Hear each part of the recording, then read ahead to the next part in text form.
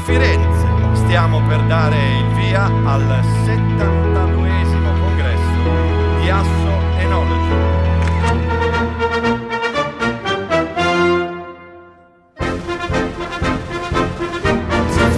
Emozionato, io ho un certo tremolio nelle gambe, speriamo che riesca a tenere perché è imponente questo che vedo davanti a me. Siamo portatori determinatissimi, convintissimi e ferrati. È come sempre un onore chiamare qui sul palco il Ministro della Repubblica Maurizio Martina. Mi piace sottolineare il tema di questo congresso, di questo 72esimo congresso.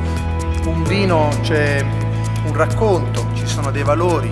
Grazie, grazie Riccardo. L'innovazione, la sostenibilità che è il titolo tra l'altro di questo congresso. Il tema, il vostro tema, il tema della sostenibilità che ha ragione Riccardo Montoverella, ha ragione Maurizio Martina. Ma quando parlo di Toscana penso anche a tutti i viticoltori che con serietà e professionalità hanno contribuito a rendere il vino toscano un'eccellenza nel mondo. La Toscana è anche una laguna. Le nostre produzioni, dietro il prodotto vino italiano, c'è un qualcosa che gli altri non hanno. Il primo settore che ha saputo intraprendere la strada della distintività. Abbiamo bisogno di sostenibilità a tutti i livelli, non solo paesaggistica che è importantissima, idrogeologica, ma anche quella economica. Sostenibilità e sostenibilità industriale e sostenibilità paese e sostenibilità del territorio. Noi la decliniamo come sostenibilità finanziaria discorso che ho sentito prima di tradizione e innovazione mi sembra molto importante. Noi siamo qua sì come sponsor, ma siamo qua come colleghi, siamo qua come collaboratori. Il nostro tema fondamentale negli ultimi due anni è la sostenibilità.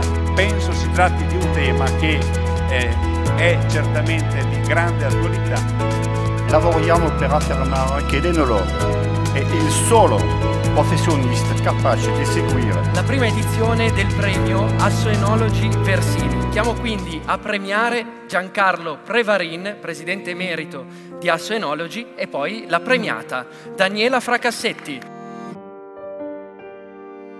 Vinifera, l'Italia dei vitigni, il libro che racconta il patrimonio enologico italiano tra cultura e paesaggio.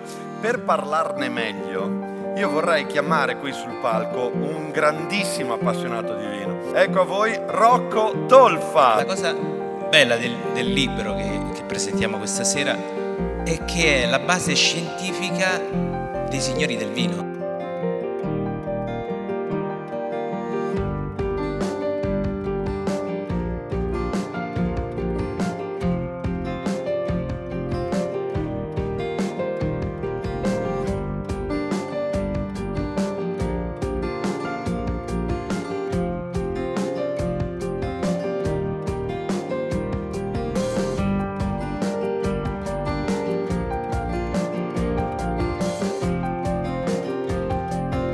Siamo tanti, eh? veramente tanti e siamo contenti di questa partecipazione. A questo punto cominceremo con la degustazione. Quest'anno i vini saranno eh, presentati da dei giovani eh, colleghi. Sostenibilità, eh, tutto quello che c'è da dire è una lunga storia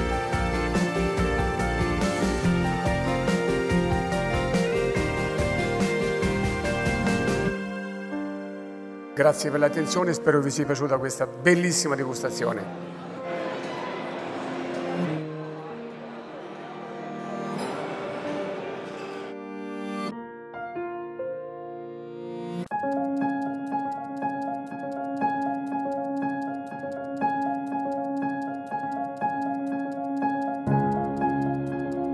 Full immersion della scienza, una sorgente di cultura che non possiamo perdere. Cominciamo subito con Ruggero Mazzilli. Traccerò almeno gli aspetti principali. Immaginez une seconde que vous êtes au mois de mars. It's almost more extreme as a Mediterranean climate. Siamo pronti a ricominciare. Chiamo sul palco Ruenza Sant'Andrea. La professione dell'enologo va bene al di là di quello che è la pura lavorazione per quanto riguarda il vino. Cercherò di descrivere quello che è la sostenibilità burocratica del registro telematico. Ci tengo a fare i complimenti alla Synology. Dicendovi appunto che gli uomini e le idee sono nate dal caos. Questi interventi mi permettono di dire che forse sono i più profondi di tutti i congressi.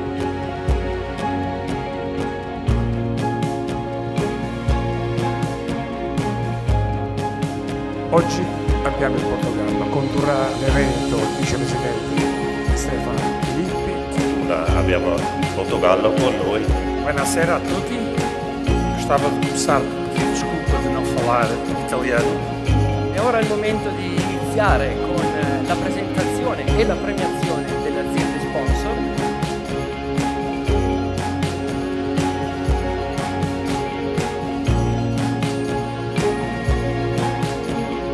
tem 14% de álcool, 5 gramas de acidez total e menos de 4 gramas por litro de açúcar.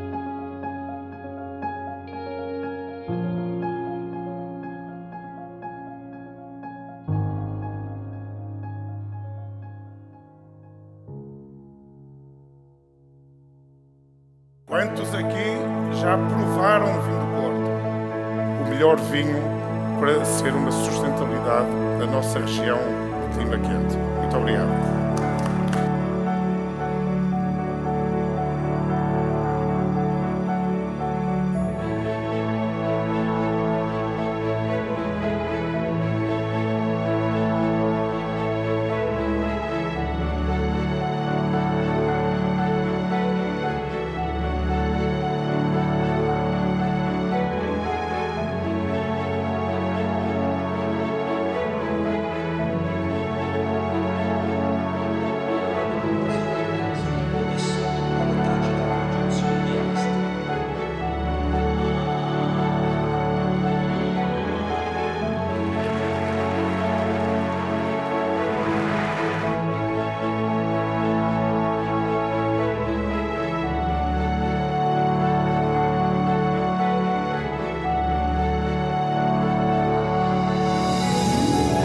Cominciamo subito chiamando qui sul palco il primo relatore della giornata, Oscar Farinetti. Grazie mille, anzi di avermi invitato, sono molto onorato di essere qua.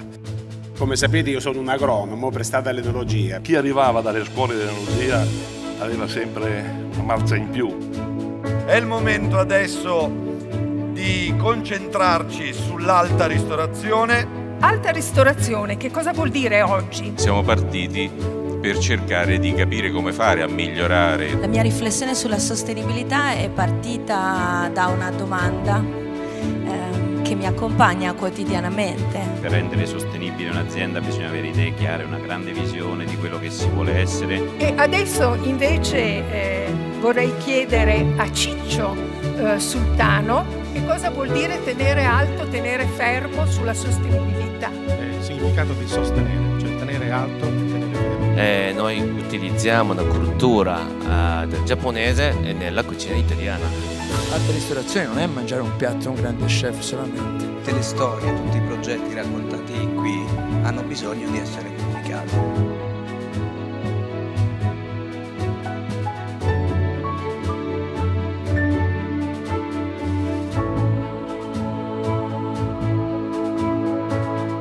Il vino inizia a scendere nei bicchieri. Eh, È stato bello vedere così tanta gente che è stata attenta. Tutti sappiamo che la prima annata del Sassicaia è del 68. Era anche un sogno. La differenza fra un grande Bordeaux e il Sassicaia è che il Sassicaia si può bere giovane.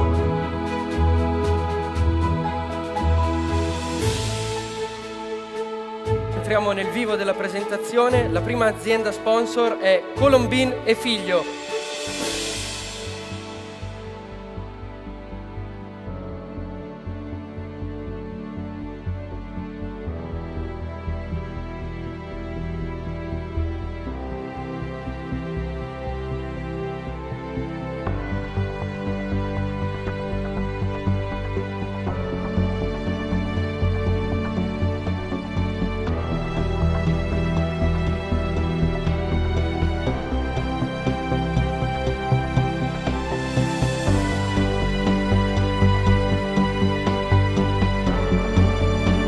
Adesso siamo al momento show, il talk show.